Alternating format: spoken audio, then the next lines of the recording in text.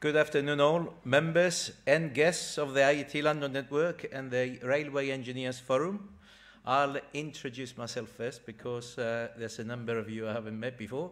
Uh, my name is Xen Christodoulou, and I'm the chairman for the IET London Network. The IET London Network are the hosts for the event today, and the event was a collaboration with the Railway Engineers Forum. So the network, a few words about the network first is run by a group of volunteer members from different sectors of the engineering profession, and we're split into a number of geographical sections. This is the Central London Network and the host for tonight. Each sector has its own committee and budget from the IET to run events like this. The aim of uh, the group is to promote the IET mission and strategy which is to inspire, inform, and influence the global community of young engineers, supporting and promoting technology, innovation to meet the needs of society. And hence, we run these events here to inform both members and non-members, everybody's welcome. Uh, I've got to admit I was concerned about the timing of the event today, uh, being in the middle of the Easter school holidays, that it would prevent many of you turning up, but delighted to see we managed to attract a large number of people wise enough not to brave the uh, Easter break getting out of London. We've got a free run for our event tonight, meaning that we haven't got any planned fire drills.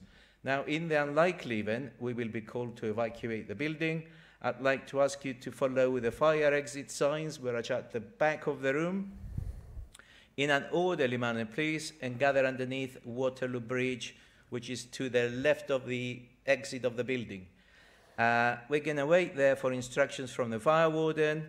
In the event we're not able to return, we have got a backup plan, and the backup plan is to gather at the coal hole, where I'm told they've got a good selection of beverages, and I'm sure uh, Rufus will stay with us until he has to escape.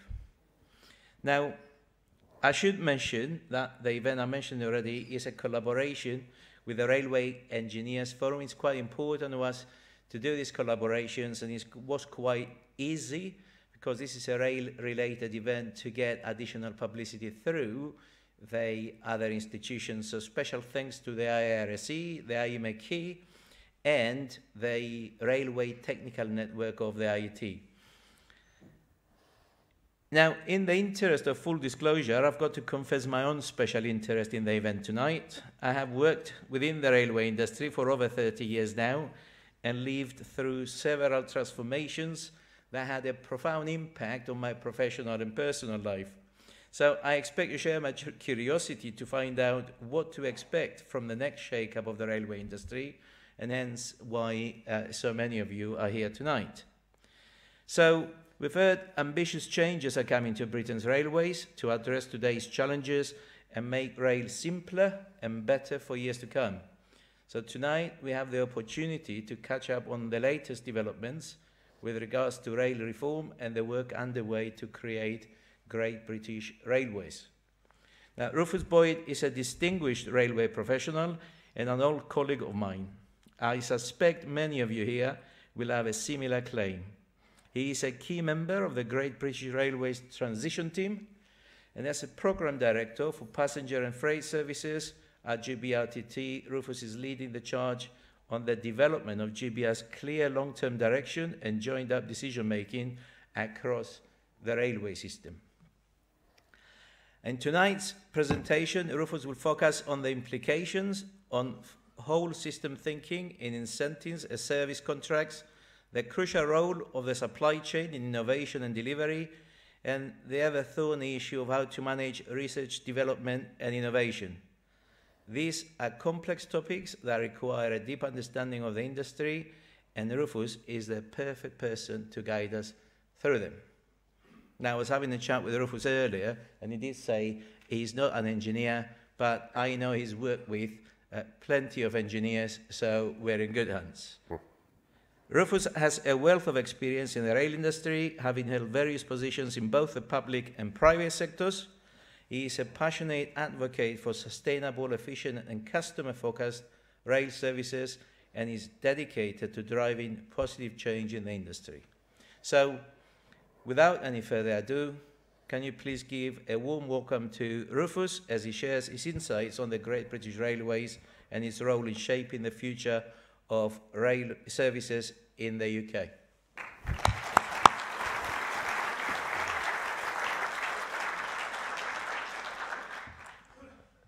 Uh, thank you, Zen, for those kind, uh, warm words. Uh, I didn't recognise uh, myself particularly in the introduction, but thank you very much anyway.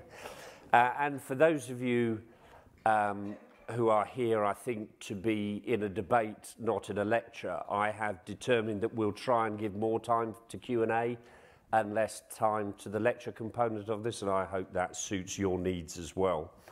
Uh, needless to say, uh, cognitive dissonance could have been the basis of this lecture because I have proofread this four times and it's still got the wrong date on it. Uh, so um, uh, that's, the, that's the magic of template uh, PowerPoint. Uh, but what I think is appropriate is to uh, start with a very, very simple question is what are my prejudices? Because I think actually Zen is right to declare an interest uh, and so should I. And, and this is a bit about me uh, because I think it's important that when you hear people talk about things, you understand where they are coming from. And I uh, unambiguously am a career commercial manager. I have done, and you'll see it all on the uh, left-hand side, I have negotiated track access agreements uh, with what was then South Central, now you would know as Southern. Uh, I have designed payment mechanisms. In Australia, I have been sponsor for timetable changes, a bid director, and indeed I was an operator of last resort advisor for several years with the department. Uh, and that is where I come from. But there's another prejudice that I think it's sensible to acknowledge, that that 35-year career in commercial management uh, has st started uh, in the nationalised era. When I joined in 1987, slightly longer than when uh, Zen joined, uh, we had an unambiguously nationalised railway, and it wasn't even a twinkle in anybody's eye that it would be privatised. In fact, famously, it was said that Margaret Thatcher would not contemplate it as a, a privatisation too far. But within 10 years, the sector had indeed been privatised. And we use the word privatisation, but I remind people that three things happened, and they're all materially relevant to where we are today. There was indeed the introduction of private sector capital, uh, and there was something which was equally important, which was liberalisation. There was competition, in effect, on track, and there was competition for the right uh, for the market. That gave us both open access on the one hand, uh, and indeed freight operations, and gave us, importantly, the franchise system. And thirdly, and this is the thing that I think is playing out today, there was fragmentation. Uh, the sector was broken up into over 100 separate companies, all with a distinctive role to play, and quite a lot of effort, incidentally, put into making sure that they could play that role. Uh, and I think we had a very successful 10 to 15 years under that model. Uh, but that model has come to a natural end, uh, and we'll move on to what that has meant for us. But the key prejudice I bring to you is I saw all this before it happened and I sat through it as it happened and indeed played quite relevant parts to it. And that might help explain why I'm back here. Uh, but I would also uh, note, as Zen kindly did, that in an august body of engineers and technical experts, uh, I am not unfamiliar with what bringing technology to rail can do. Uh, and you'll see on the right-hand side some of my credentials. I was uh, a signalling scheme sponsor. This was when I first met Zen. I was this scheme sponsor for the West Anglia route modernisation. I was project director for HS2's rolling stock uh, technical and economic advisor team. I was the shadow operator in Sydney Metro, and you can see it all out there. Because I think there is a natural integration of commercial and technical thinking, and it stops preferential engineering, uh, and it also drives forward value. And I think it is a useful marriage that we have to reignite in the sector. Uh, but as I stand before you today, I'm the Programme Director, Passenger and Freight Services, Uh, and my functional accountability, which I think Zen had a good go at, but it's quite difficult to explain, is in a world of policy wonks, I am saying, will that really work on the real railway? And trying to make sure that that does come to pass. So what's the uh, route map for the evening? Uh, broadly speaking, I'm going to start with the crisis of 2018, uh, which was not a unique and acute crisis, it was merely the crystallization of some long-standing problems. Uh, I will pass us through the white paper. Many of you will be familiar, but I think one of the really interesting things is about uh, how much the white paper has had to be adapted post issue. I then think we'll spend some time on uh, GBRTT, the role I play and the role others play in making transition a reality, what that will mean for GBR, the kind of setup we envisage, and I have to say here and now, you know, this is all subject to government approval. So what I'm uh, talking to you about today is work in progress. Very interested to hear what you think about it, uh, but fundamentally still a function of government approval. Uh, and obviously the part that the rest of the sector will play with GBR. And then finally, a few thoughts uh, addressing the themes about how transformation will exist with a particular bias towards uh, tech and R&D issues. So um, if I was comfortable with this clicker, I'd be absolutely sure that what was behind me was where I thought I'd be, but it's not quite right. Um, so this is the Williams Review. This is the kind of 101, so you don't have to read it of the Williams Review. Uh, a reminder of who Keith Williams was, incidentally. Keith Williams was uh, from John Lewis uh, and British Airways, uh, and although he's now uh, known for his work in the post office, he had a very clear-eyed view about what was wrong with the railways and particularly how it might be remodeled as a, a new, if you will, a new model of private public cooperation and collaboration. What he identified, because there was both the review and there was the white paper that followed it, uh, and I'm going to be very strict to the words here, was six enduring issues. Uh, the first of which was that the rail sector often lose sight of its customers, acknowledging there and then that customers meant both passengers and freight forwarders. And this was reflected quite simply in customer satisfaction and performance metrics. that by the time of 2018, we were struggling to continue to secure an upward trajectory uh, in those measures, and they are the critical measures of our future success. The second thing he observed was that we were missing substantial opportunities to work with communities. Um, ultimately, uh, communities are served by railways. Railways do not serve themselves. And in effect, we'd not really caught up with the devolution agenda that had been going on in the political environment. And it was quite clear that if you looked in Scotland or you looked in London, when railways became more subservient to wider strategies, uh, better outcomes were achievable. And for those of you who saw the transformation of, of Silverlink's uh, operations on the North London line, East London line, and so on, in, into the modern London Overground, you will see what the nature of that transformation brought by way of benefits. The third observation was fragmentation, and I talked a bit about reminding people about what the three features of privatisation were. And fragmentation wasn't just a problem, it was a problem because it made accountabilities challenging. Uh, and I think that is probably the key thing that what we're about to do with our own work at GBRTT we'll try and reverse. The sector lacked strategic direction, and that was very clear to him. And I think uh, that also reflected, I think, some of those earlier points I was making about what successes had been secured in London. I think it was about whether decisions were made on a whole industry basis, i.e., there was strategic change, or whether indeed uh, there was any material reference to a strategy when those changes were made. And it's an observation I make, uh, as you know, joining in 87, that some of the things that the privatised railway survived on were systems and processes that had been built up under BR.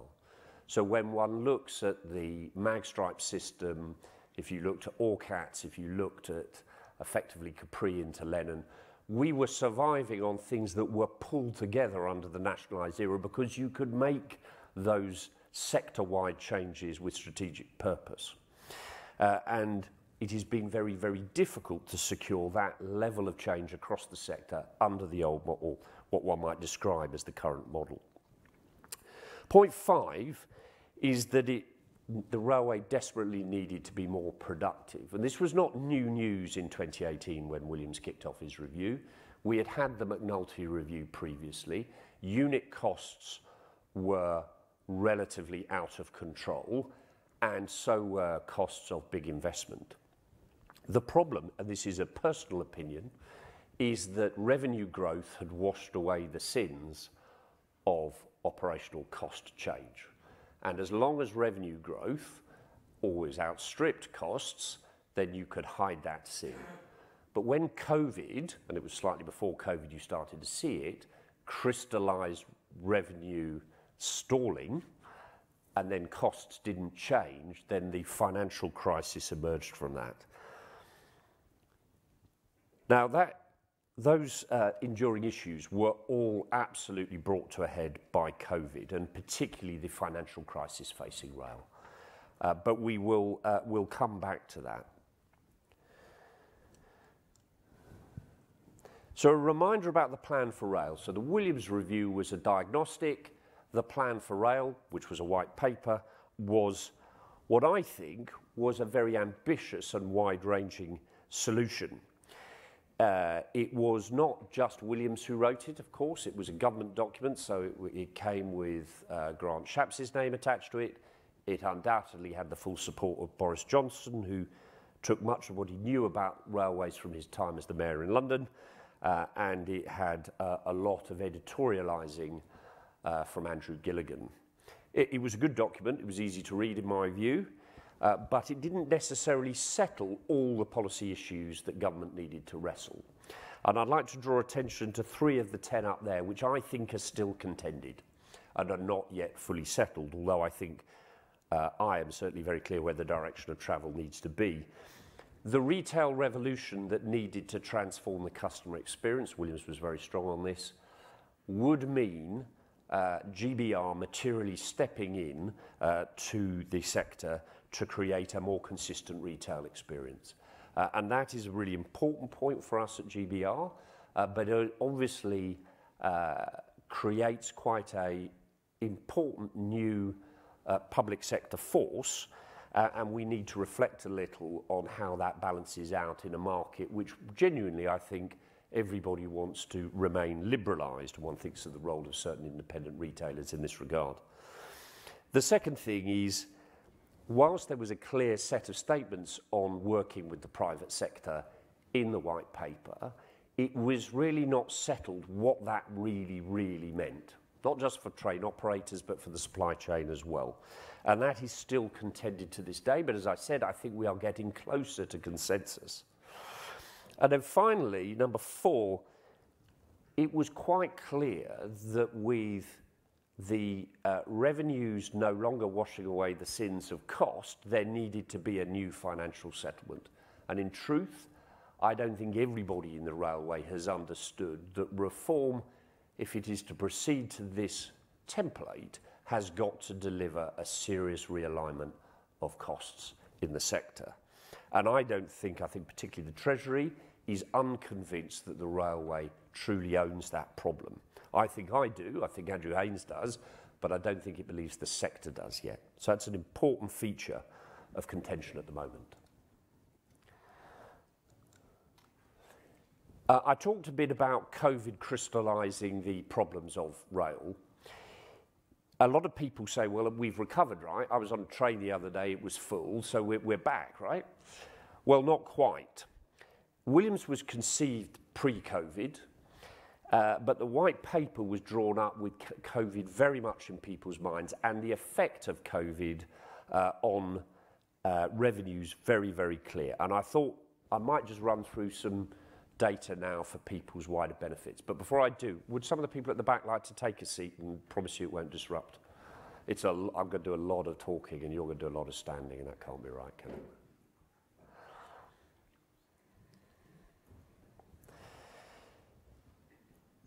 So the, the recovery has been quite robust. I mean, certainly when I was starting uh, looking at this problem, I set up the Rail Revenue Recovery Group uh, uh, over two years ago now to deal with this issue. We were talking about potentially an 80% recovery. Well, here we are at 90% of revenue recovered, um, and broadly speaking, two or three percentage points more in terms of journeys. But we have to be clear about what kind of problem that still leaves us. Because what's happened is that the mix has changed quite seriously. And in the red, you'll see leisure is outperforming uh, the sector as a whole, about 108% of pre-COVID. Commuting is about 83%. Uh, we thought it was lower, but when we analysed how people were reporting themselves on wavelength, the customer survey, they were not necessarily reporting the way we would have reported, but it's about 83%, and business about 35%. Now, for those of you who are familiar with revenue and revenue elasticities, what you will discover, of course, is that all the high yield traffic is way below what it was, and the low yield traffic, uh, leisure, which is an important part of the mix, is overperforming. So the consequence on our total revenue of the new mix is quite serious. Another couple of other points. People will see this is nominal, not real. We're in a period of high inflation, so costs aren't nominal. Uh, they're, they're going, I mean, sorry, costs aren't uh, matching this, they're uh, outrunning this again. And finally, the extraordinary success of the Elizabeth line uh, represents some of the numbers here. Now, I know the Elizabeth line, in effect, is gluing a couple of old railway uh, railways together through the central core. But the Elizabeth line is driving a lot of this current growth, and that is, uh, while really welcome, at relatively low yield. One of the positive things that's going on in the background is that industrial action now looks to be uh, potentially over, or materially over at least. What that's revealed is that yes, we were losing money on the day of a strike, but actually passenger confidence was really quite low. And that we've not just had the bounce back of the individual days not being in our base, uh, but actually confidence is returning to people and they're coming back. So I think next year will be a better year. Uh, we won't just stabilise at this 90%. I think there is more to come.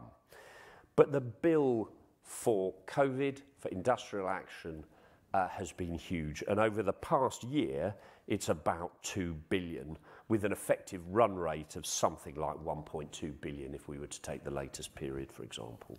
So we are still having to address not just the bill that must come from reform. There's got to be a business case for reform. We still have a bill for just not having enough money in the bank post-COVID.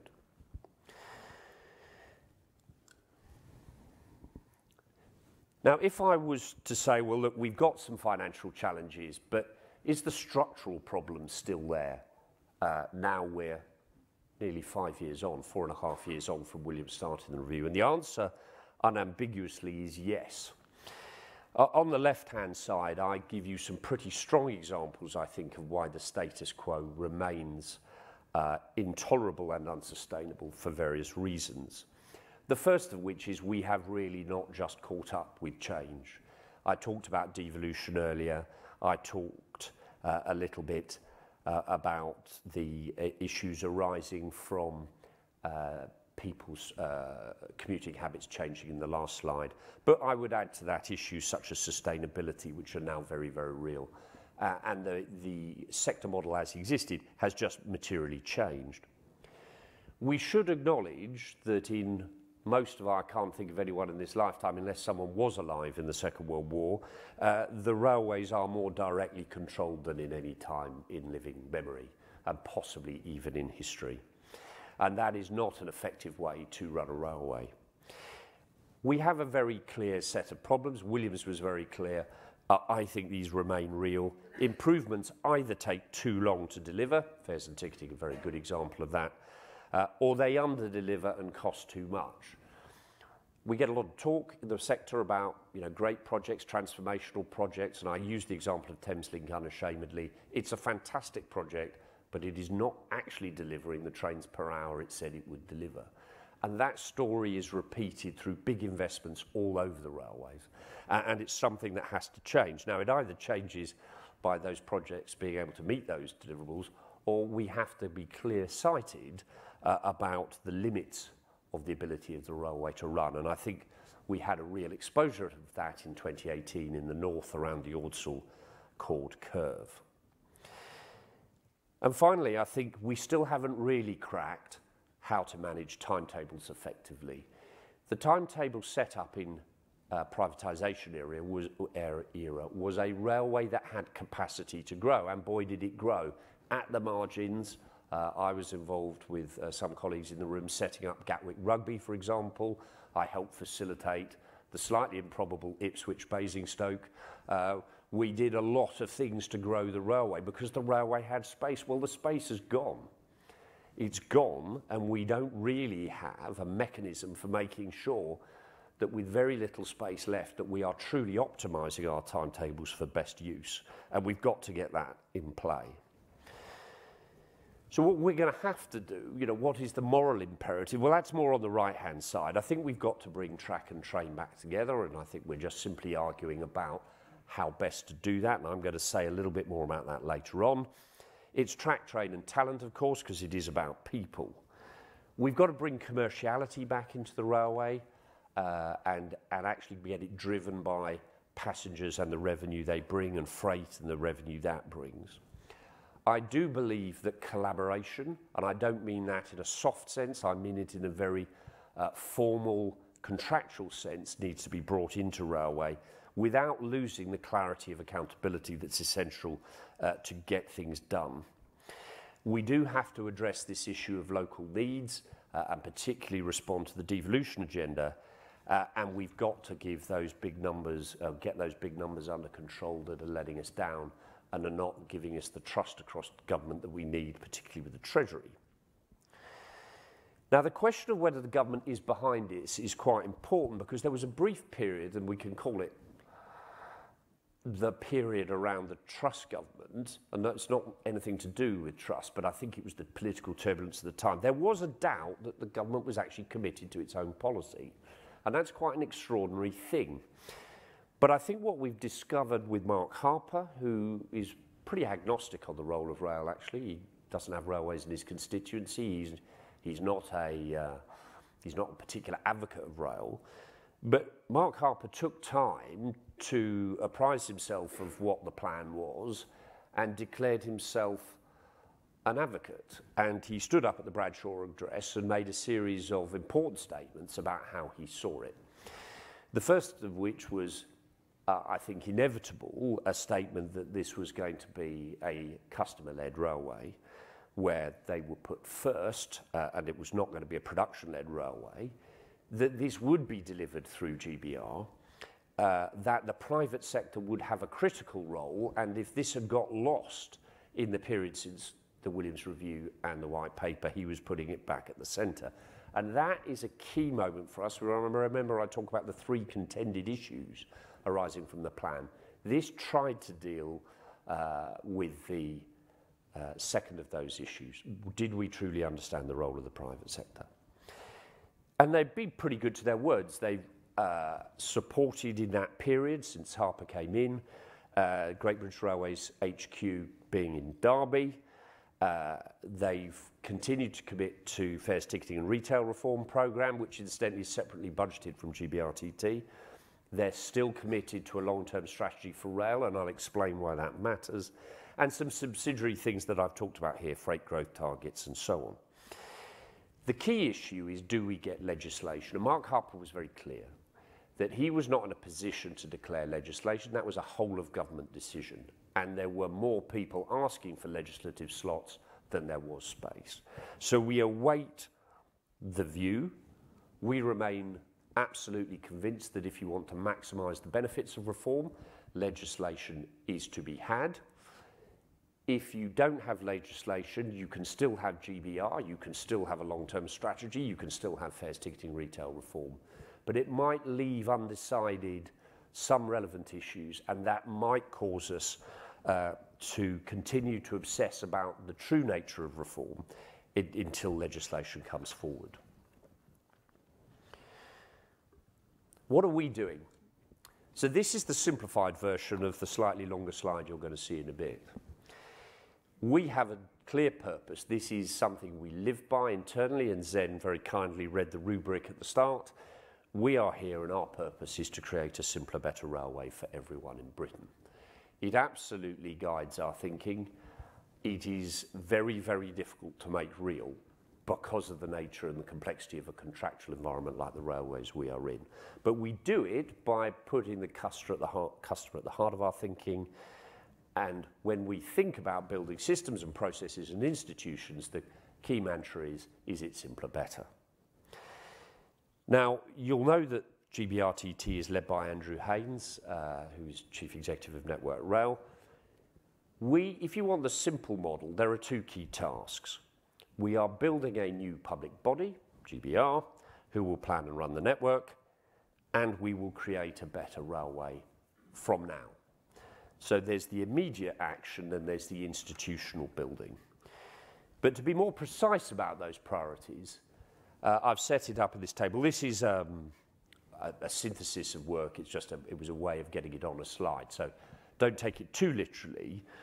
But on the uh, left-hand side, broadly, is a summary of our goals. Yes, a simpler sector. That's very much about uh, design and transformation and getting the commercial framework right, and I'll talk a bit more about that in a later slide. It's a bit about aligning the industry, and that's about the strategy, and again, I'll talk about that in a later slide. Yes, once again, cost effective, putting customers at the heart of it, and I think the most immediate thing we can do is to transform the retail experience. Our chairman, Peter Lord Hendy, uh, when he was transforming uh, Transport for London, said it has to start with the retail experience because the retail experience is the barrier that stops non-users coming to rail.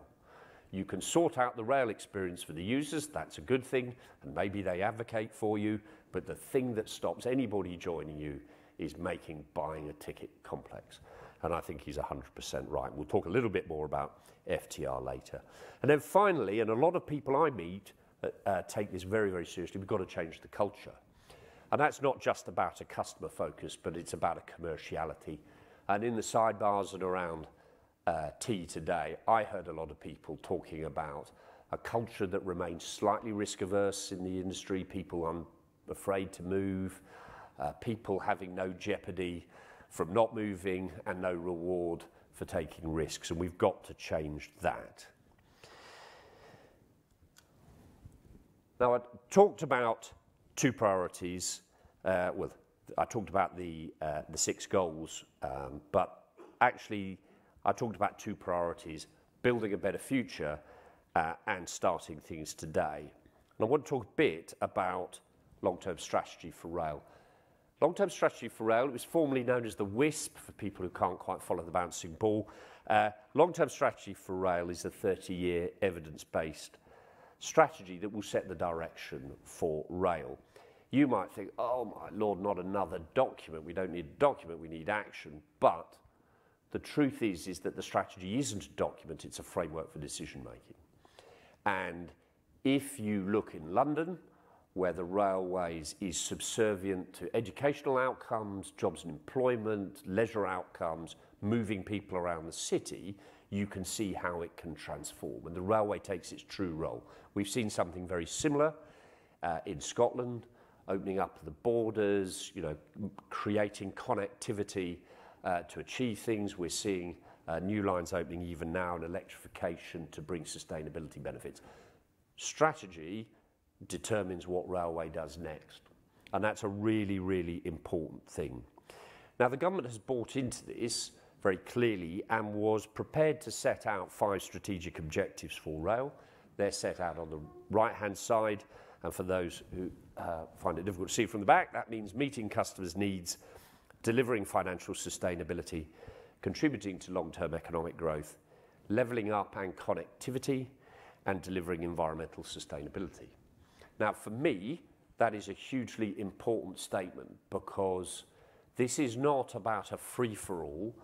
in which uh, the person who gets their track access uh, requirements in first and bids to run a service first and secures the maximised profit for that service.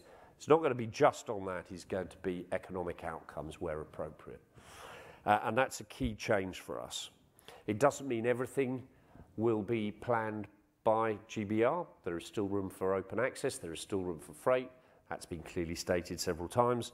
Uh, but what it does mean is we'll be taking an economic assessment as well as a purely financial one.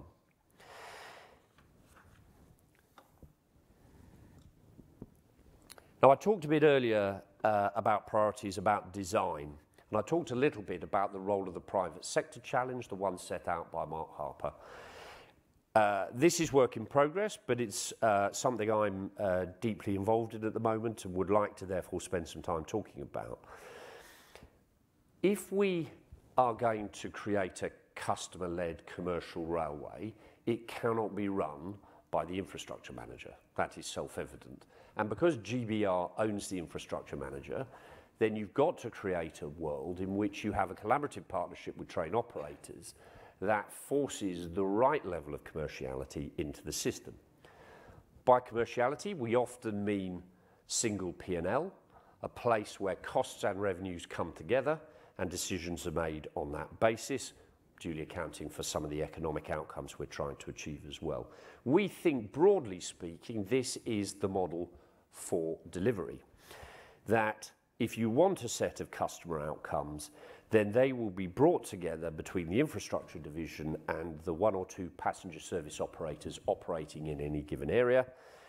Some will be contracted, PSEs, some will be managed by scorecards, uh, and some will be part of the liberalised environment of open access and so on. Or they may be uh, devolved operators operating under uh, devolved government business.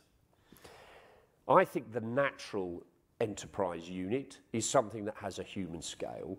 It would also have a familiar kind of railway feel to it. It would be something the size of Anglia, something the size of Wessex. It may have one or two train operators in them acting as PSEs. It may have uh, an open access operator on. It will almost certainly have freight. That business unit is the natural and I think efficient level for managing the system. By contrast, when we talked about the long-term strategy, uh, when we talk about financial consolidation uh, and big, big investment, I think the natural and efficient unit of planning and strategy is the region. We don't have any particular desire to muck around with the regional railway geography. Indeed, the white paper was very clear that was probably a fool's errand. But I think the business unit, the enterprise unit, and how that is sized is still up for grabs. Um, but it is a, a key feature uh, of this for us. And how do we make it all work? Well, I put some of those things in the dot points. You're going to need uh, aligned targets and objectives. You're going to need commercially led decision making, which means you need a financial framework and a single P&L.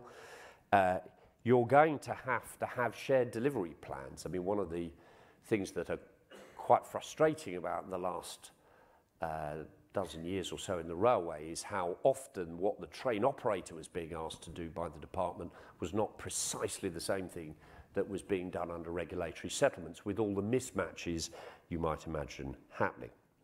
So yes, you get an integrated P&L, and what you get is a chance to be uh, the local accountable champion for rail within that business unit. And I think that is a return to a, I've used the word human scale before, a sensible human scale for bringing the railway together and creating accountability.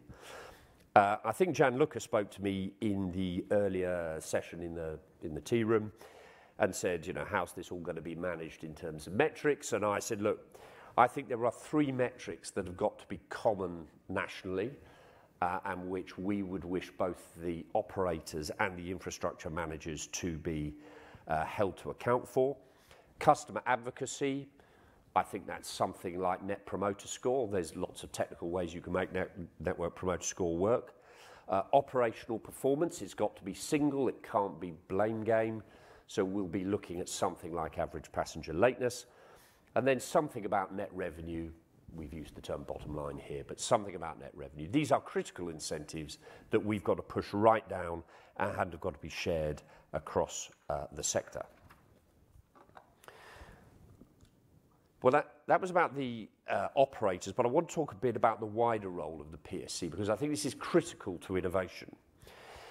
Uh, in loose talk, people assume that the, the franchise operators, now the PSC operators of the future, are where all of, or most of, innovation and private sector enterprise come from. And yet the reality pre-COVID was 80% of railway spend, that's about 20 billion, 16 billion to 20 billion, uh, was through the private sector. So everybody who plays a part in the private sector has got something to offer in both creating that recovery where we get the revenue in the top line right and close that gap between 90 and 100% and make good the 2 billion shortfall this year or 1.25 billion per year at the current run rate. So how do we do that? I think the starting point is bringing P&L together at a point where decisions are made.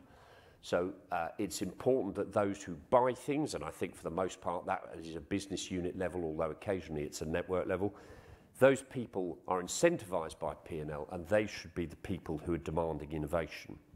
I think the second thing we need to do is we need to move away with an obsession that innovation is just kind of first of a kind tech. Innovation is anything that makes things simpler and better. And in some cases, and this is a terrible truth about railway today in Britain, it may just be best practice that people have been doing elsewhere for quite a while. The innovation comes with actually embedding it institutionally in a complex environment. So we put a really high value and put a premium on the values that the private sector bring to the railway. And we uh, spend quite a lot of time at the moment uh, through an industry process we've set up called a sounding board, uh, where we've invited supply chain in to come and talk to us about the barriers, and I'll talk a bit about that in a moment.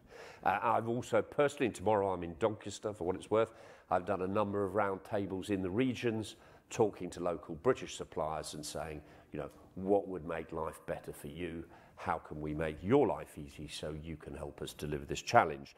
They have not been backward in coming forward. And this is broadly what they've said. Businesses have told us that we're too slow, uh, and we're not just talking about Network Rail here, we're talking about the railway generally, whoever the procurer is. We are too siloed and we are too prescriptive. And I'm sure that they've felt that for a long time. What we have made very clear to them is we have heard that and we are responding by saying we will be strategic and we will give you the strategic direction you need. We will be better coordinated. We will create a commercial environment with the right imperatives, noting that if we're going to push decision making down, that the supply chain has to accept that sometimes things will be done differently in different places but I think most suppliers are familiar with that. And where it's important that it's all done one way, then we will provide the proper whole system analysis and support to make that case. It will also be a competitive environment that suits creating the right outcomes from competition and not the deleterious race to the bottom ones. And certainly, whenever we get onto the subjects of skills or get onto the subject of innovation, what we hear is we would do that for you, we promise, but if you're not scoring that in the competition, then we will not make that investment. We will just go lowest price. You know, we have to come good on that. And I hope that with a long term strategy, which will give suppliers confidence on things like decarbonisation, uh, with the uh, pushing down of P&L with the right incentives, all of those things are achievable, as well as, I think, very constructive engagement. So if we're empowering and localizing, I talked a bit about this risk of are we going to end up doing things differently? Well, what are we going to do? I just wanted to reflect on a few areas where I hope we will retain a national and network perspective because I think these are the game changers for us.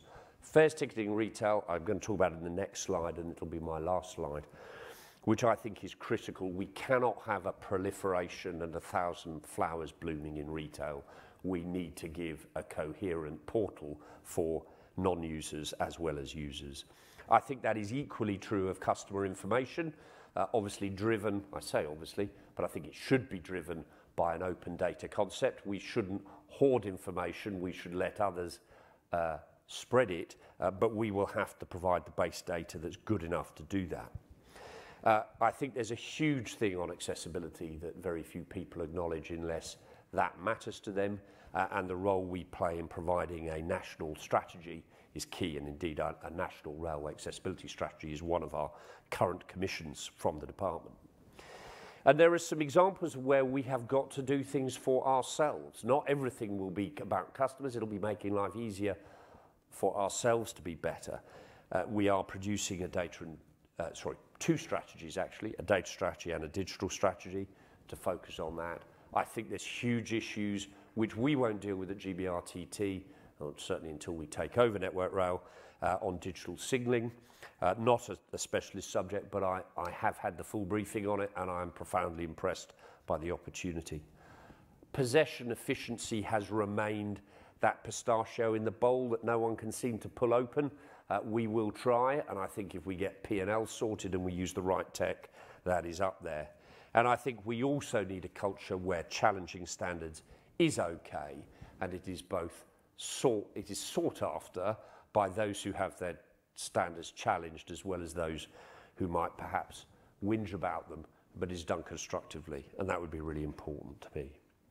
So I'm going to end on a final slide about FTR, and partly because this is the jewel in the crown of our current work. In the, I said we're doing two things: we're planting trees for the future, but we're doing stuff now. FTNR, it's a 360 million pound program uh, run by Stuart Fox Mills, uh, who came from uh, commercial director at Abellio Group, uh, and a very good guy he is too. It's something of a revolution, but I suspect if we really looked at it, we'd find that it's really about rolling out best practice uh, but in a way that's uh, not been done systematically across the system uh, since nationalisation. Key features, pay as you go, yield managed fares uh, with using the most modern systems, uh, customer experience transformation through loyalty programs, and modernising the experience at stations. And then finally, the big game changer, the online retail unit, which will pro provide common services to third-party retailers, uh, as well as providing uh, a portal uh, with the uh, appropriate branding on it uh, that people can trust and say, well, uh, uh, you know, I have a default proposition, which currently is really through the NRES, National Railway Inquiries channel, which is really not quite at the level it needs to be to build trust and confidence in the sector. So that is our direction. That is what we are trying to achieve. I've given you three or four examples of very specific activities we're doing that we think will make a material difference. Uh, I'm very happy to push it on into Q&A if you think I've missed anything or there's anything you want to explore. Uh, but before I do that, I would just thank you and uh, give you a chance to uh, either follow GBRTT or uh, if you want to drop me a line, uh, follow me on LinkedIn. But thank you. I'll go to questions.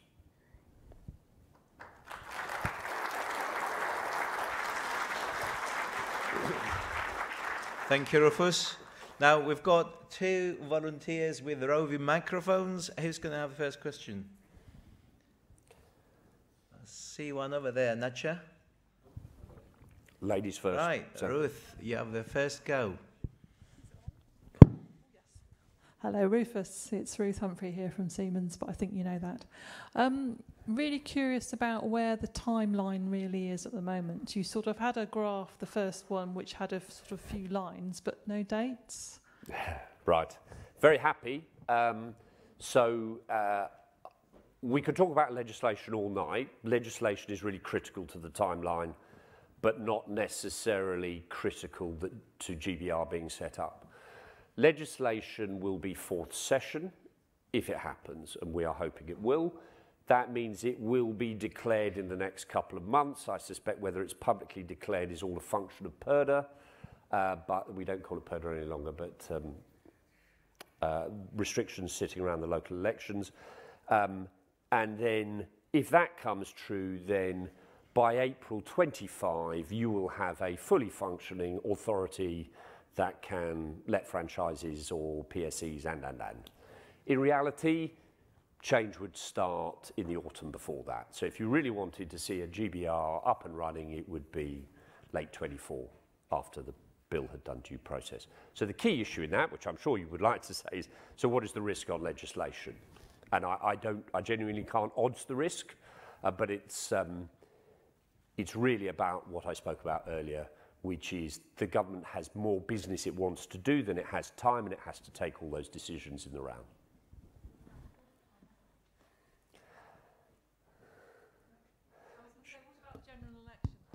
Okay, yeah, the election is an interesting thing for uh, people here. We don't lobby out of government, but the Labour Party has come to us and posed the question, what are you doing? You know, how do we feel about that? I think the Labour Party is broadly speaking comfortable with this direction of travel. Um, I think if it were done, they would find a way to make, make it meet their agendas. They could make that happen. I think it's a very interesting question. This is a personal view, this is not a corporate view for what it's worth. Uh, I think a lot of current politics is about wedge issues. I'm not quite sure why anyone would make the railways a wedge issue. I think this is about running fundamental services for Britain. I would have thought political consensus was a good thing, uh, but I'm not a SPAD and I'm not a, you know, I'm just not one of those guys. But uh, yeah, I mean, it would have a Labour Party flavour, wouldn't it? But um, yeah, I think they'd support it. Thank you. Nacho, we have one. Hi. Oh. Hi, Rufus. Uh, really interesting talk, so thanks very much. I'm Tom Mason from KPMG. Uh, two questions, if that's all right. One was uh, I saw the slide with the the sort of industry structure, and I think there was one uh, big body missing from that. At least I can see it, which is the DFT. So, how's the relationship between DFT and GBR going to change compared to NR? And then my second question is open access. So, uh, what role do you see open access playing? Do you think it's larger than the current role open access operators play, or, or smaller? Um, what you know, what advantages do you see there? So, thanks. Yeah. Okay. So hap- happily try and deal with that. So perhaps I'm not focused on the department because for me it's relatively self-evident. They have set up or are seeking to set up GBR to undertake the necessary planning and management of the network. In 2018, Chris Grayling woke up with a transport planning disaster on his hands because the May timetable had gone wrong, and then by December it hadn't got any better. And when he asked the question, whose fault is it? He says, well, technically, Minister, it all comes onto your desk because of the way we have this structure. Now, Chris Grayling, who has been much maligned, in my opinion, that's a personal opinion, uh, realised that this was bonkers, and it was he who initiated the Williams review.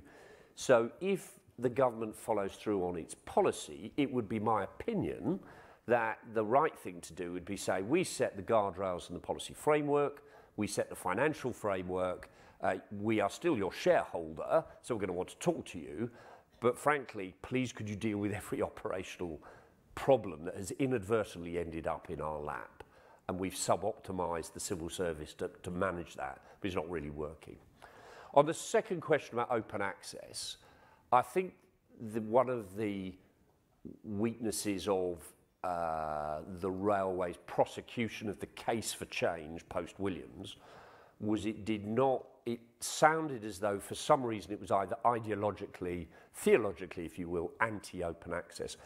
Uh, I, you look at what it's done for communities in Hull, what it's done for places that were not well served by the franchise operation.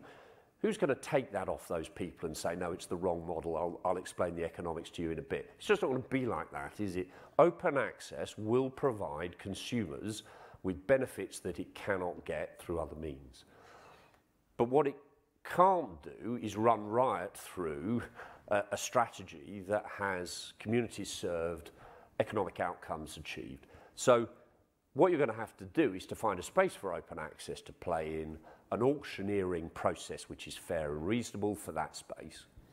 I think what that means is you're setting up, uh, as it were, predefined space for OAX to play in, or OAO they now call it, used to call it OAX in my day, uh, to play in, Uh, and then the, the system would be as now. Effectively, you bid for it and you, you get the outcome. But, but that's a bit me spitballing an answer because it's not that clearly laid out yet how that would work. But that's how I would see it working, which I think incidentally means it can grow, if the, in the answer to your question. Thank you. Got a question Lovely. here, Nacha at the front.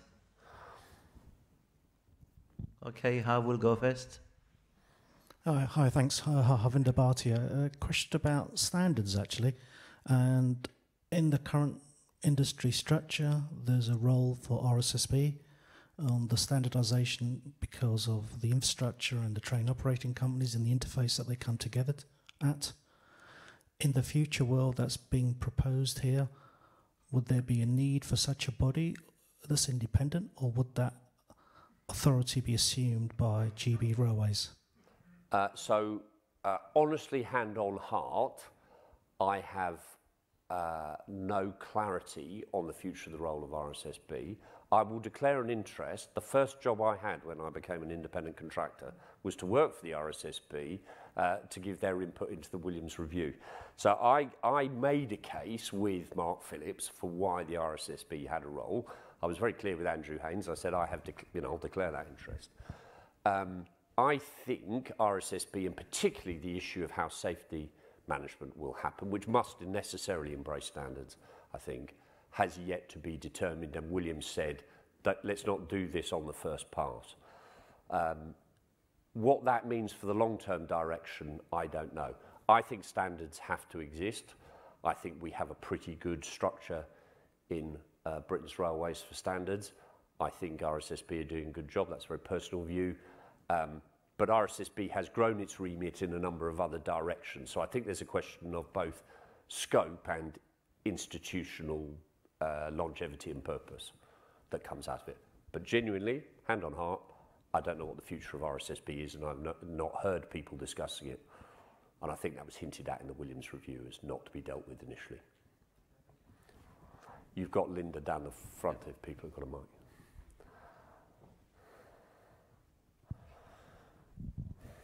Thank you. Linda Richardson, now retired. Um, I have to say, I came to a presentation many years ago, long before I retired, and uh, you alluded to the fact that the privatisation has filled all the white spaces in the timetable and we've yeah. now used capacity. Well, that presentation many, many years ago, the speaker was explaining to us that it's our physical infrastructure and signalling that is limiting in everything, and where we need to go and where we're going right now is what he said at the time. Um, is to follow the rest of the world where they have digital signalling, so all the infrastructure can come down, and it can tell exactly where a train is and how fast it's going. So instead of always having to have this massive gap between trains, if they're going slower in the peak, you can actually have them closer together. Um, is that going to come? And and do you know when it's going to come? Because Right. The presentation so, I went to years ago said it was almost on our doorstep then. Um, so the, the, luckily Zen's up here. I'm not going to pass this on to Zen. So I, let, let's be clear. Uh, we have really exhausted what colour light signalling can do for us, have we not? Uh, we've exhausted it for a number of reasons. Why we have now sub-optimised our capacity outcomes, which is true. Uh, it, I don't think it is particularly efficient in terms of the maintenance costs to spend 300 grand building walkways so somebody can walk safely to a signal that could all be done in cab or remotely. I think, you know, the benefit stream is huge. But this is big tech change, and on a liberalised multi-user environment, we're not a metro, you invariably have a huge stakeholder group of industry players who need to be satisfied to get it to work. Uh, but it is the future. Have I got timelines? No, I haven't. But if you want to know, have I drunk the Kool-Aid on digital signalling? Yes, I have. I mean, I really have. And I, look, I, you know, I'm serious about this. I, I know metros are different, but I went to uh, Australia to build a metro, and the the dynamics of Australia in, in the early noughties, late noughties, was very, very hostile to metro. It was foreign. CBTC we don't understand, you know, we're not interested, not here. We run RailCorp. And it's transformed the city. You know, it's absolutely transformed the city. And I'm sure digital signalling on conventional rail will transform our network. But I don't think, even if we get good outcomes from the East Coast work, it just can't be rolled out like that, not on a legacy system. Unless you wish to argue with me, Zen. Uh, no, I am very pleased you haven't passed it on to me. Stay here for a Thank very long time. I just wished they found a different buzzword to digital signaling. We had digital signaling since the early 80s, Yeah, but, you know. Yeah, Anyway, um, let's get another question. Uh, we have one at the back. Rufus, thanks very much for a really interesting and, and frank presentation. Um, my name's Richard Thurston from IDC. Um, quite interested when you're talking about the, your, your digital and data strategies. Um, I think every other industry's digitalised rapidly. Um, when COVID hit, everyone else had to. Um, maybe the railways had a problem with technology, hasn't been able to adapt. Um, you talk about culture needing to change. What are these kind of really big technology drivers that are going to happen, and how, how are you going to accelerate that? So uh, I think this is again a bit personal. So I'm, I'm quite close to the guy that does this in GBRTT, Russell Willans, um, and I am convinced that the thing that will transform this for us is keeping the scope sufficiently limited that we could solve the question. The railways, along with many other bits of Britain, is very good at trying to solve a problem and then making it so big that it is beyond solution. So I've encouraged my colleagues uh, in the digital unit to think what would a what is coming because there is some stuff that is coming anyway. You know, there's pre-agreed, pre uh, pre-authorized work. You know, let's acknowledge that those projects are on the pitch, and then how could we grow out of that? How could we develop them that from that to get specific benefits uh, that would really drive the imagination of the sector to do more. As it happens, I believe, truly believe, that it will be the customers who will stare at disbelief at how we do some of our things, in the way they do with Magstripe tickets now, and just say, I cannot believe this is how you do your business. So I think anything that facilitates customer self-service, apps, customer information, you know, you look at the success of things like real-time trains, in, you know, who needs to know what, what the passing time at Hanslope, you know, who needs, well, people love it. You know, people walk towards this stuff. So for me, you know, look at what you're already doing, look at what an incremental improvement might drive. Uh, my personal bugbear, for what it's worth, is we ought to know how well train, any particular train is loaded on average and on, a, on any particular day in real time, because I think people would make sensible decisions on that basis. So I think customers will drive it. Thank you, Rufus. I've got a question there, Kuldeep.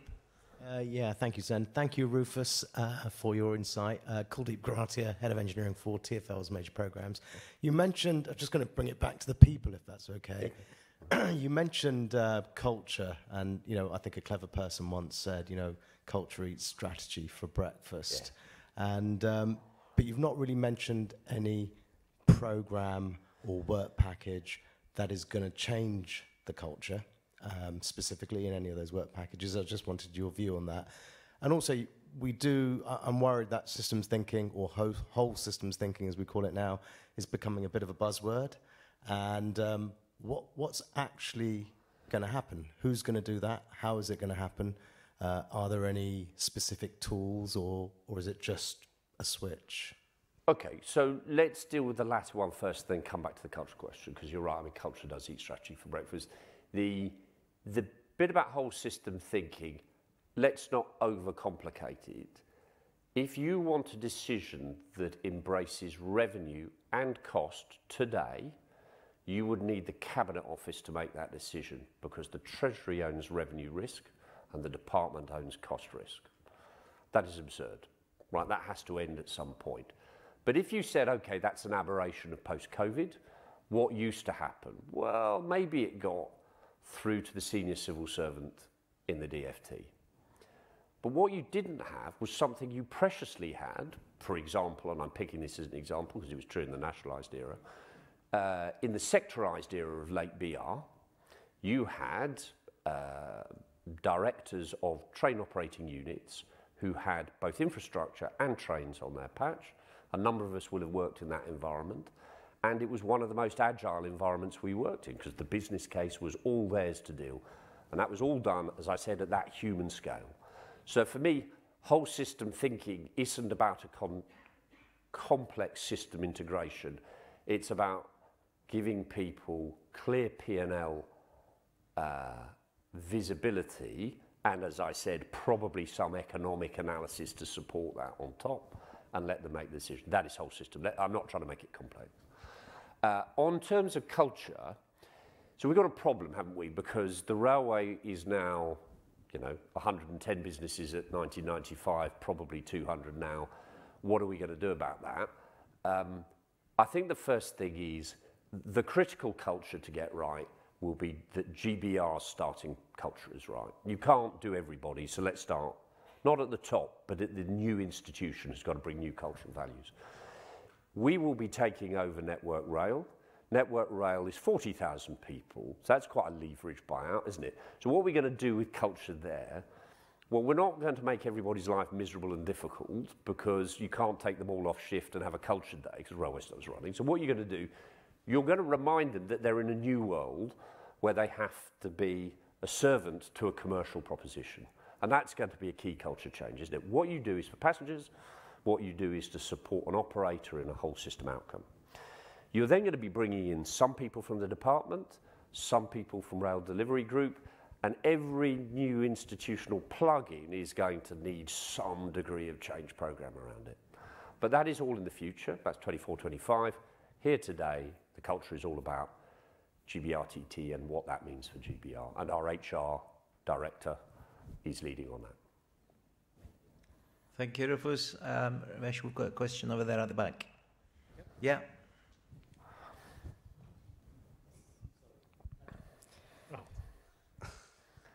You're next, Steve. Hi.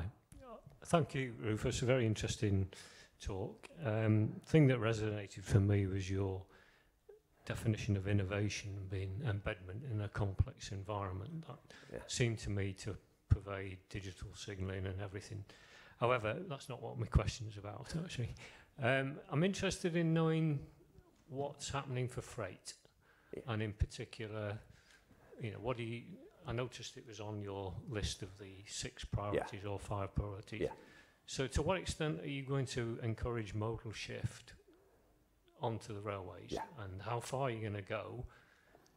Well, obviously, when you're dealing with um, you know private sector companies, and uh, you know, there's obviously a question about how far you'll go and what you'll do to to encourage that. Uh, so uh, yes, just, uh, just a, you, you quite rightly point out. I said six, and there were five. I'll tell you why there's six and not five. Is we forced the two customer ones together in that. So there is bringing customers back and there's customers feeling a different. They're two separate goals, but yes, you're right, well spotted. So, um, but that's just in case you think I'm misleading you. Uh, I am developing the nascent strategic freight unit, the SFU. The, you're quite right, it is a dominated by the private sector, the freight world. Um, and therefore the risk is that we get in the way and don't facilitate. So the SFU is trying to imagine a world where it facilitates. What are the facilitations it could do?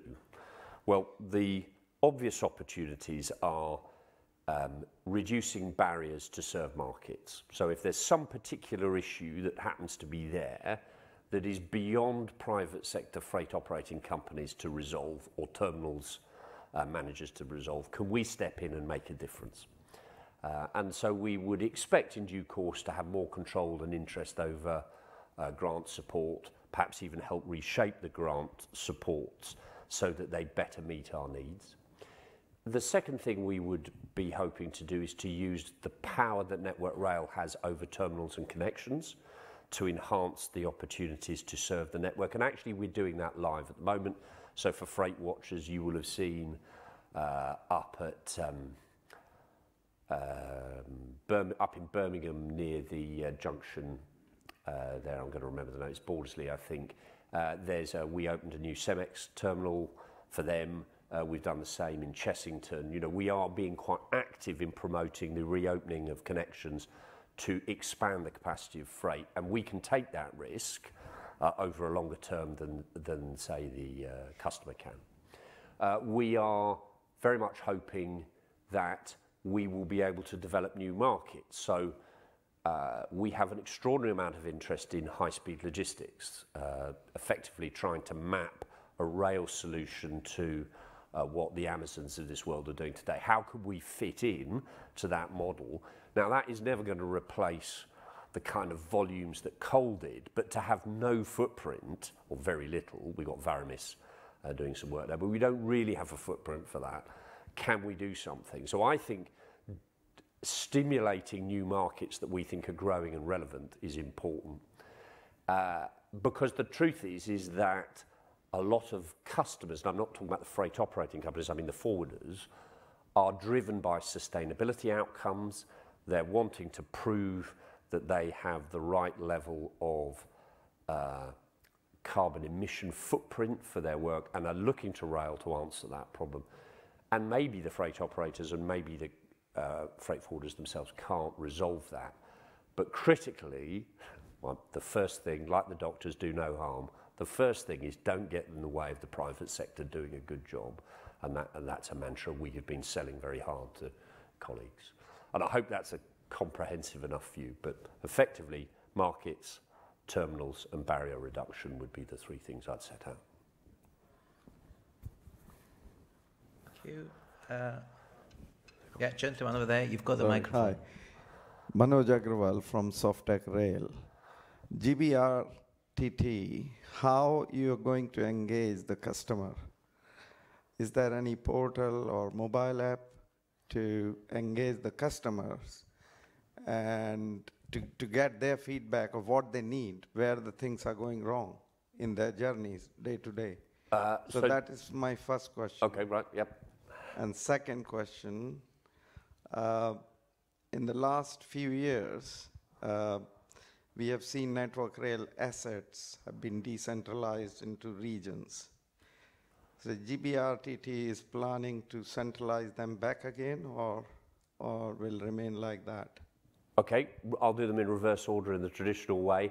Uh, it is, you will be unsurprised that with Andrew Haines leading both GBRTT and Network Rail, that he said decentralization has to be our mantra.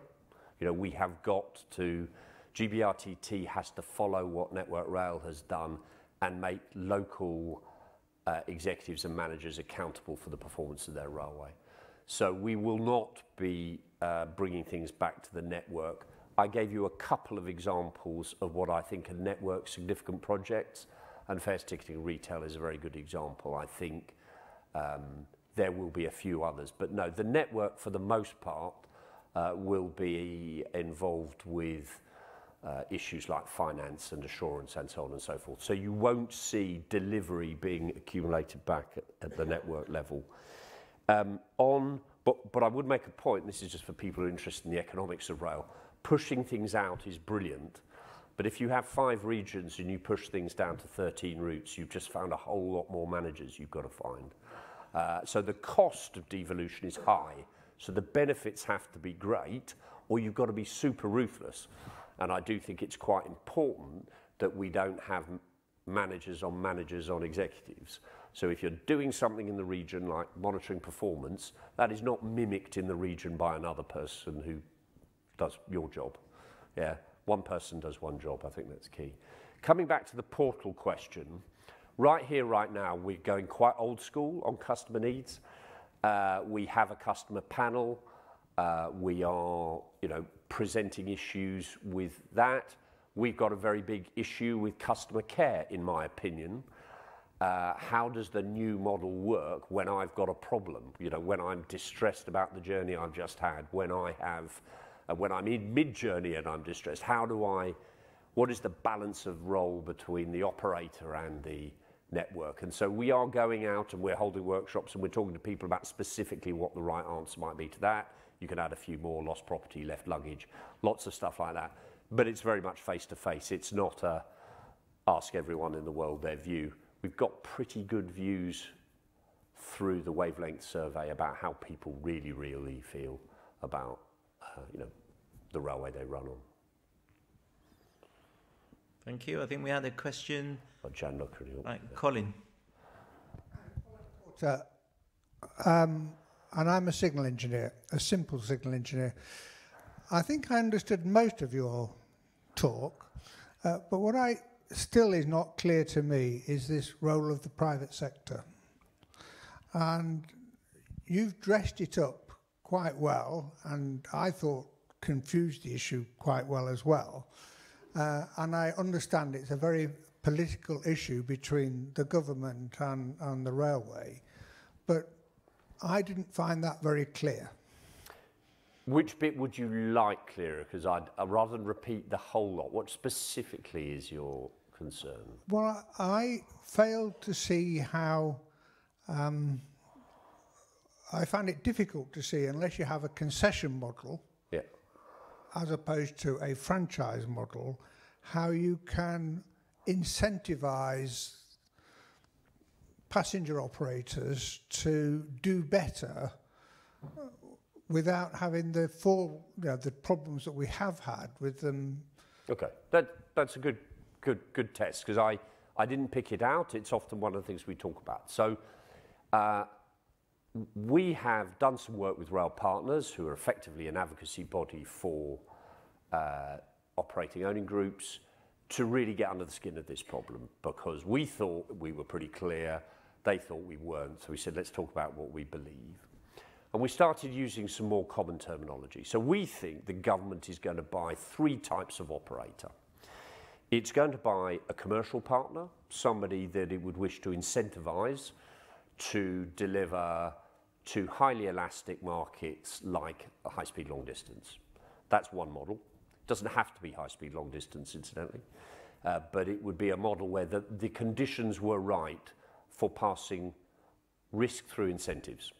And it would be incentives, not full risk of the sort we saw in franchising. Because the concession model that we see in, say, North London, operated by TFL, has no revenue incentivization or risk. There is a hybrid, I believe, where incentives exist but not risk transfer. The second model would be uh, what we've called the collaborative model, and that would be very much like um, you would see in the TFL concessions, whether you looked at uh, DLR, Crossrail, or, or the London Overground model.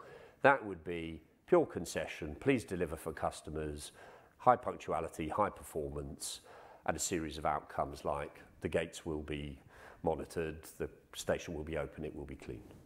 And then finally, you have a change partner who is there with you in a complex and challenging world like TransPennine upgrade, uh, or to take a more recent example through the Thameslink program. And in that case, you would be buying somebody who'd be working all that complexity through with you, and revenue incentives of any sort are almost meaningless to try and apply because change is everywhere, there's no baseline. So we've used those three models.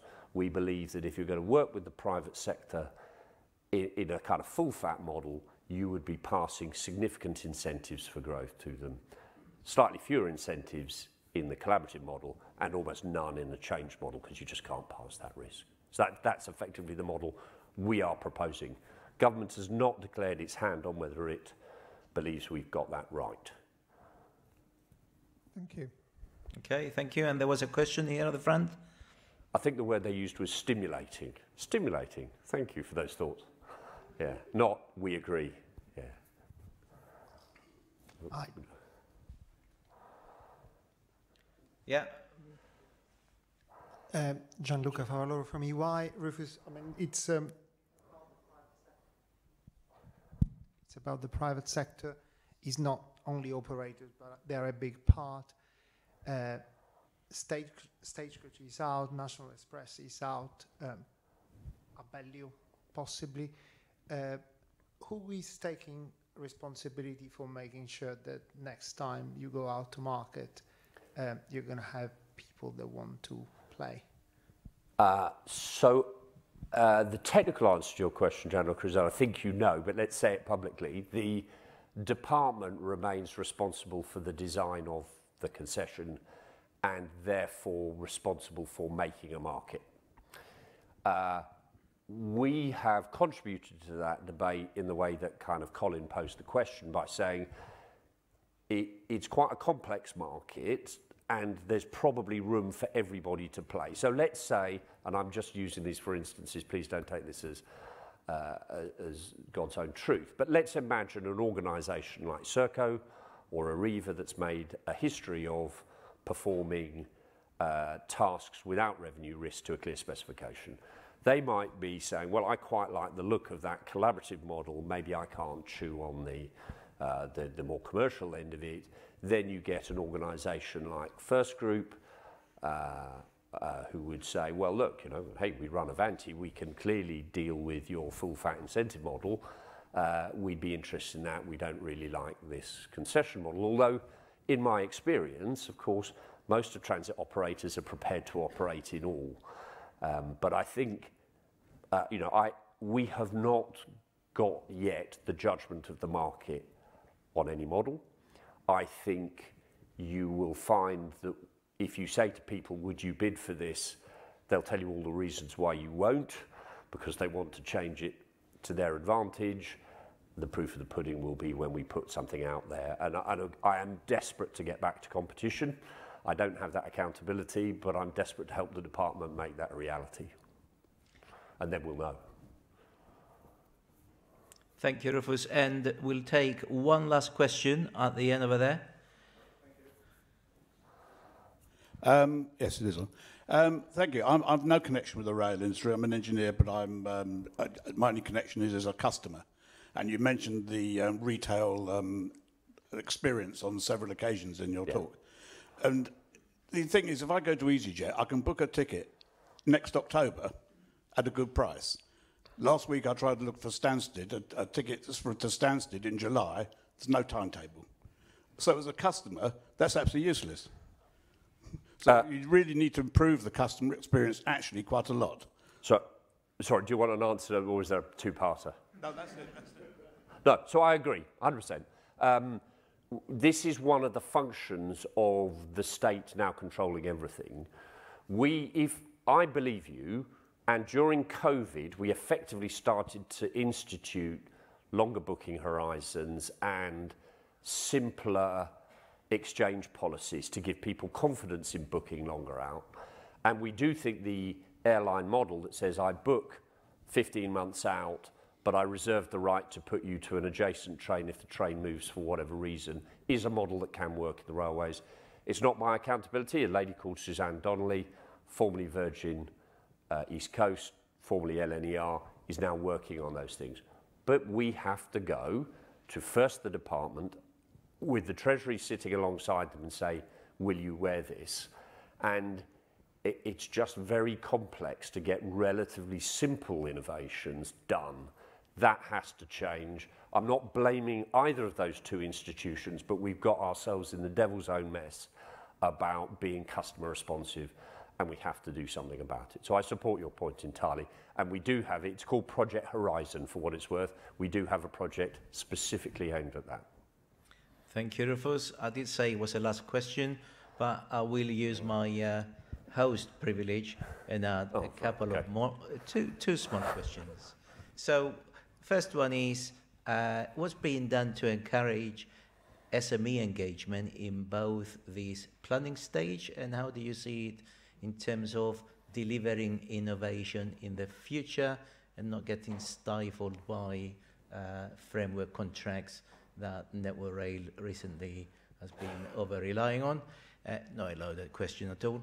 And the second one is uh, a different one is how do you see or, or do you see is there any thinking on talking about creating value from exporting technology and know-how that being considered as a, um, a, a, railway um, in terms of technology and engineering. Uh, 30 years ago when I joined, I remember um, many countries abroad were using our own standards and our own technology, and now we've fallen a bit behind. Uh, is there any thinking about creating value out of that? So reverse, reverse order again.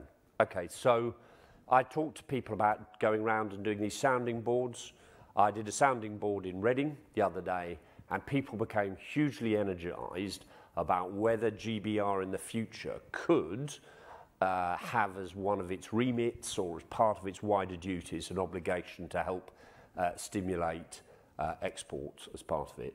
I don't think it can be quite as bold as that, but I do think it would be a very good outcome if we were developing processes, systems, and tech that was exportable again. Because you're quite right, you know, you look at Hong Kong Metro, you know, one of the best performing metros in the world, at least if you go back to the original lines, it was effectively a British turnkey project, or damn it. Uh, and even relatively recently, if you go down and look at Gautrain in South Africa, we were able to do these things. We really should be able to do it. Uh, it would seem to be not a first priority. We've got to put our house in order. Uh, I'd make a very small point. I made a little bit of a career selling the one thing we were very good at, which is how to liberalise your railway. I mean, we had a huge white collar export which people like Gianluca have been able to benefit from, where we'd go and sell payment mechanisms and liberalisation stories and narratives and processes to the Anglo sphere. Uh, and so, you know, why did we do that? Because you can take a view, well, you know, what kind of value add is that?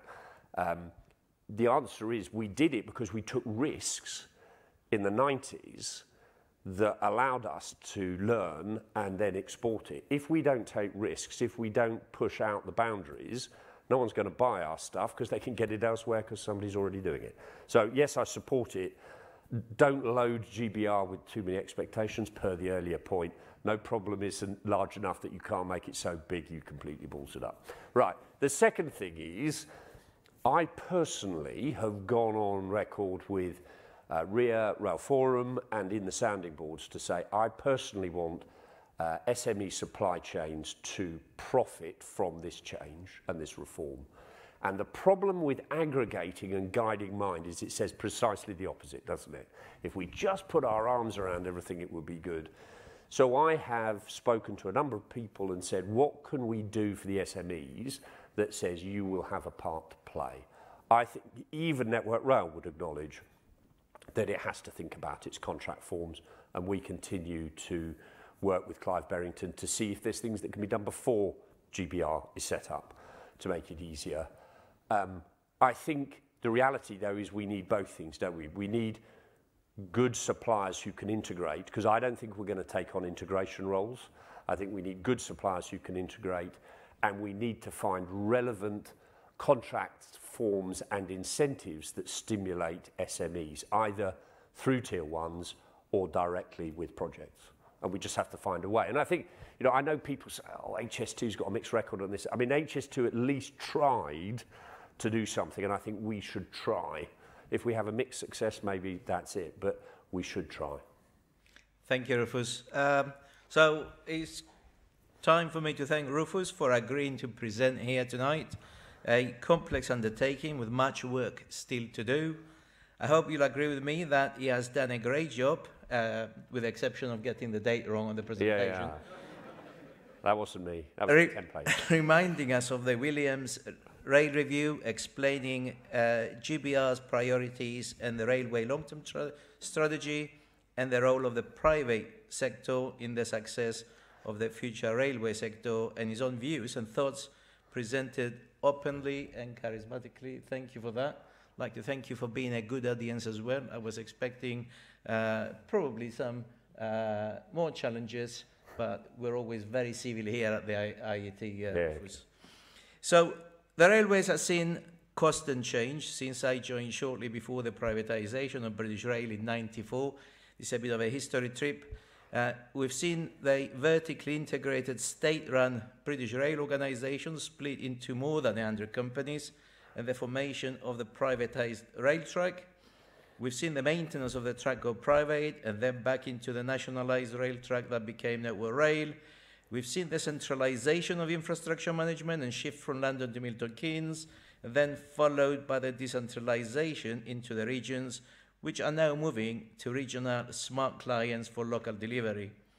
We also now have the return of the GB Railway to Derby, uh, which uh, you haven't mentioned actually uh, tonight. And uh, I know it's delighted many railway enthusiasts. I know Ian Flynn here is very uh, uh, happy about it, and uh, most people in Derby. We've seen various franchising models, and we have heard tonight more about the plans to improve the problems from previous railway organizational setups. One thing is uh, certain in my mind uh, change is going to happen, and it's going to continue to happen. To happen, and uh, I hope you found the information from Rufus tonight useful in navigating your own path through this change. Uh, if not, perhaps we should agree a return date for an update from Rufus back in maybe late 24, 25, Rufus? Yeah. so, personally, I'm encouraged by the fact that there are many experienced railway professionals within the GBRTT who understand the nuances of the complex system that is a railway, many of which I've personally worked with in the past and I've got great respect for. So I have every confidence that they will be successful and wish them all the best. Uh, Rufus will stay with us for a while yep. for the drinks reception. So if you have any more questions, you didn't get the opportunity, uh, please approach him. Please be nice, and I'm sure he will oblige. Um, before we go upstairs, I've got a couple of announcements. Uh, our next evening lecture here, completely different topic. Uh, we've got the topic is on the engineering behind a nuclear fusion energy experiment. It's by Navdeep Mehai from the UK Atomic Energy Authority, and uh, it's on the 16th of May. Please note, it's not our usual second Wednesday. We had to um, abandon that slot for the following Tuesday. Um, I haven't got anything else. I wish you all a safe journey and I hope to see most of you upstairs.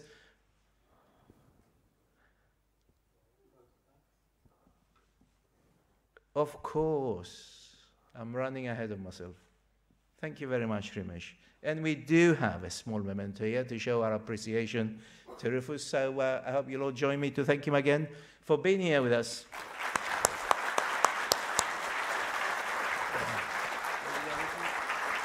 I get something.